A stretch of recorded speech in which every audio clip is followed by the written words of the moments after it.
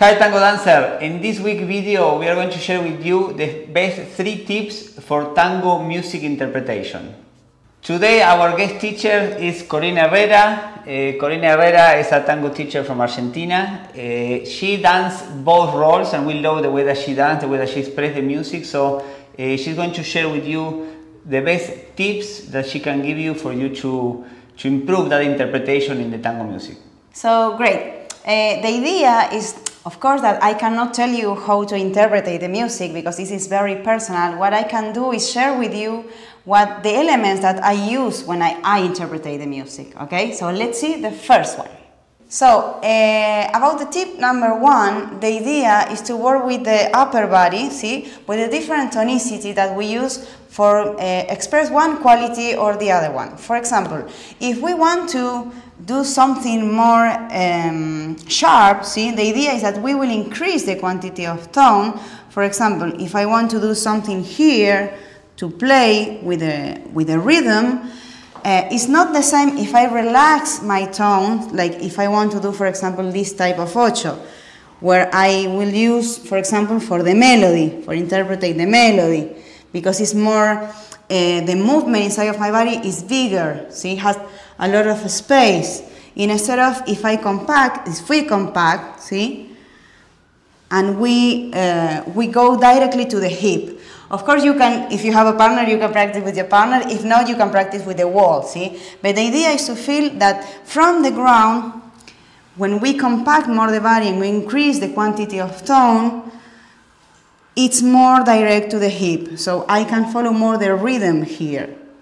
If I relax more, my body, the movement has more space in my body, and maybe I can follow the melody. Maybe you are wondering uh, what, what means to compact the body. So, Corina, what, what, what do you mean when you say that you are compacting your body to express more rhythmic music? I think that a very good reference is that is our joints. For example, when I'm talking about compact the body, what I can see is that my joints are not moving so much. It's like everything is going to my center, see? Uh, in, in, instead of when I um, release more, I can move my joints more without losing the presence, yes? But this gives me the possibility to move more. Instead of when I compact, again, I lock my joints a little bit and I increase my, the quantity of tone to have a um, result uh, more direct to the movement of the hip and more rhythmical, we can say. Okay, tip number two. Uh, I think that um, the change of weight is, is one of the most important things because when we are changing weight, depending the way that we are changing weight, uh, we can maybe follow more the rhythm or we can follow more the, more the melody. So the idea is that Normally, this is my, of course, my opinion, when I try to follow the rhythm, see, I try to change my way directly, see, from one side to the other side.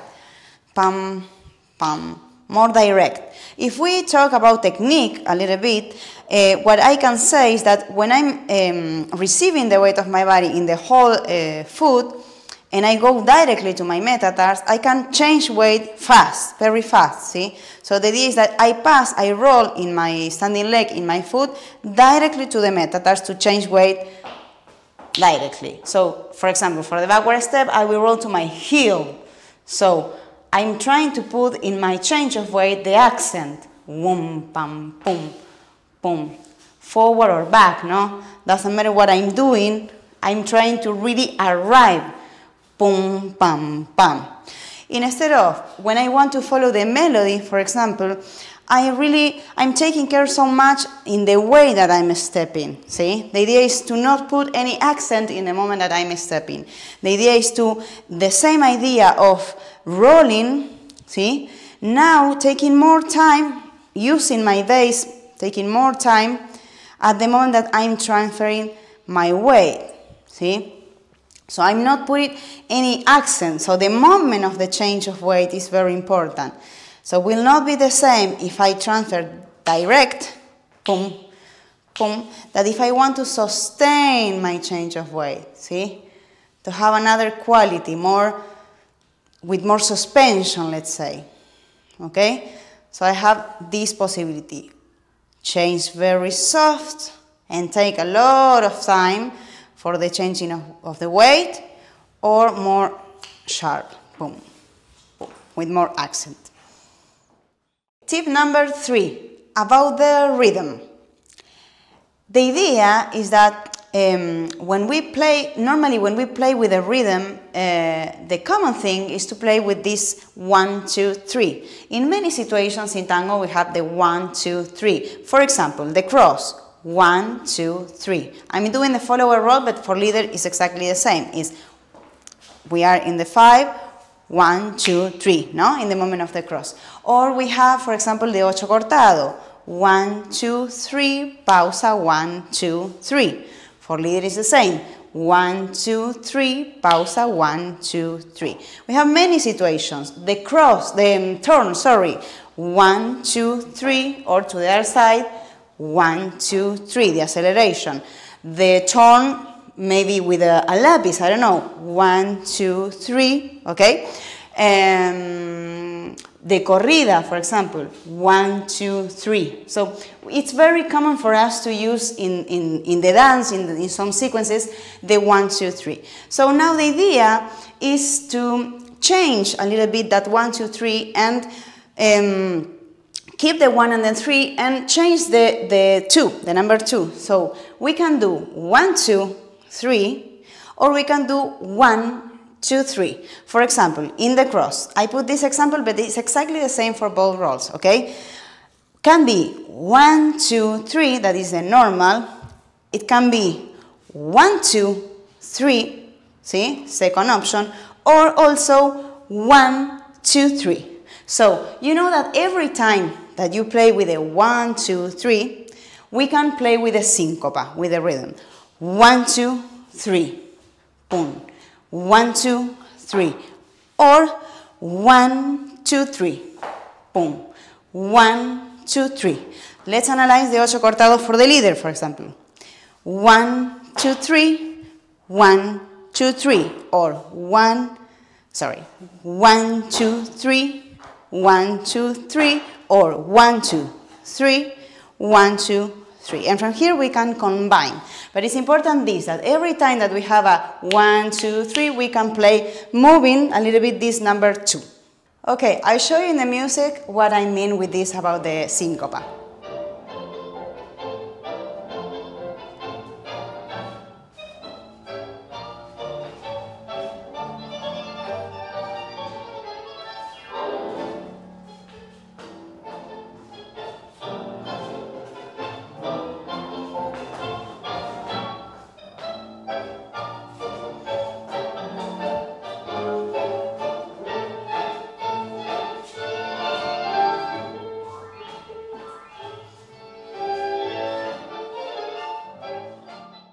As you can see, I was playing with the, with the sequences that I showed you before, playing with the syncopa, in the ocho cortado, with the cross, and with the turn.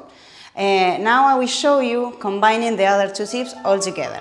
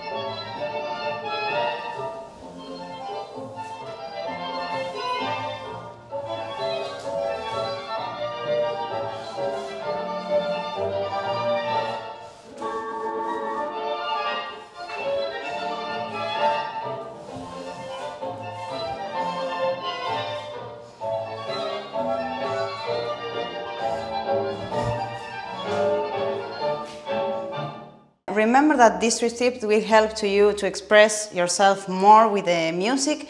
And of course that it's very important to know the music that we dance. So it's very important also to to practice with a song that you know very well. No the idea is listen listen the music because we dance with the music. Uh, so i hope that this uh, it was useful for you for your practice. And thanks for watching. Thank you very much corina. And thank you for the tips And yes, it's important to understand that musicality is uh, for you as an individual dancer, no? Uh, you want to be musical as a leader or as a follower and to understand how to express the tango music. So thank you very much, you. Corina. If you want to keep learning with us, uh, if you want to receive a new video every week, we are going to put a link below this video and you can sign up to our mailing list and you will receive a new video every week to keep improving your tango dancing. Thank you very much for watching and please keep learning and keep sharing your dancing because the world of tango your embrace. Bye.